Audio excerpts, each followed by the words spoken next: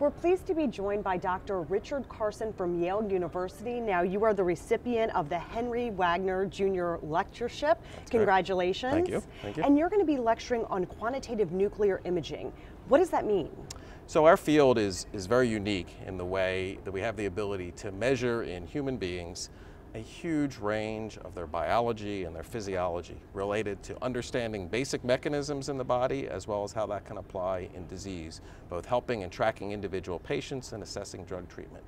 In doing that, we create images with our unique radiopharmaceuticals, the radioactive molecules that we inject. The trick becomes when we collect these images, how do we interpret them? How do we generate numbers, not just pretty pictures? And this has been a part of our field since its inception. And in fact, uh, nuclear medicine has been re really at, at, the leadership in medicine in trying to be quantitative and being able to extract numbers. So we don't just say yes or no, we're saying how much. We're saying how much does it change? How much does it change in different parts of the body, in different patients, on different drug treatments, etc. So I think this is the basis of, of this lectureship is to think about and, and talk to our audience here, the society, to think about how we've been doing it, how we might be able to do it better, and what we might have been forgetting as we've gotten so used to doing this day after day for all this time. What is SUV imaging and why is that important? Right. So SUV stands for standardized uptake value. It's one of the basic approaches that clinicians take in making quantitative measurements in nuclear medicine.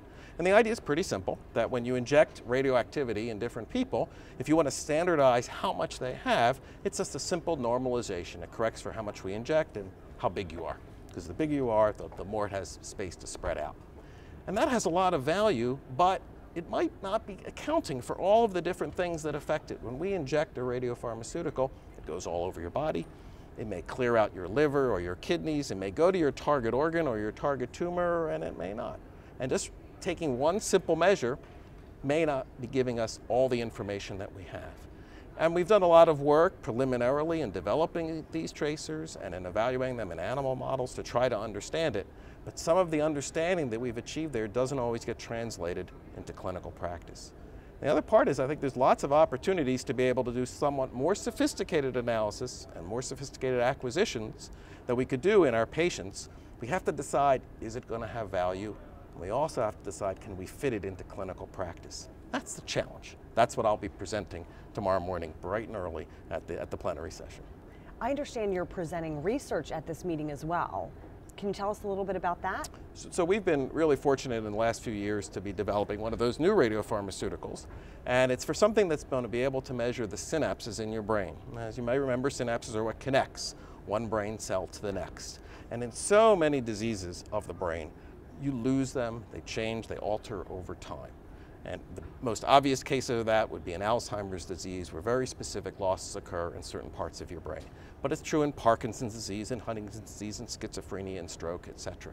So we've been, over the last few years, doing the basic research and beginning to do the clinical translation to be able to understand how we can use this brand new tracer in human beings. And so we've been very, very excited to be able to present some of that material to our colleagues here in the society, as well as excited to see how that is spreading out into use all over the world. So what does the future look like five to 10 years from now? Right. So certainly in those, in those areas, in those brain disorders, I think we certainly would not be surprised, and I think we can really expect to see this new imaging agent, something called for SV2A, that it, it would be yet one more tool that we use in evaluating patients.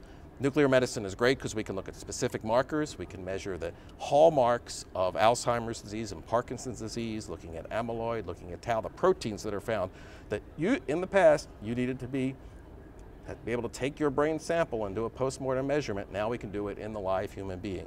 And the exciting part is if the treatments are, which are hopefully are on the horizon for these disorders, we're going to be able to do those scans to identify which patients will best succeed with those novel treatments. That will be a very good day for our field. Dr. Carson, thank you so much for joining us, and we look forward to hearing you speak. Great. Thank you very much.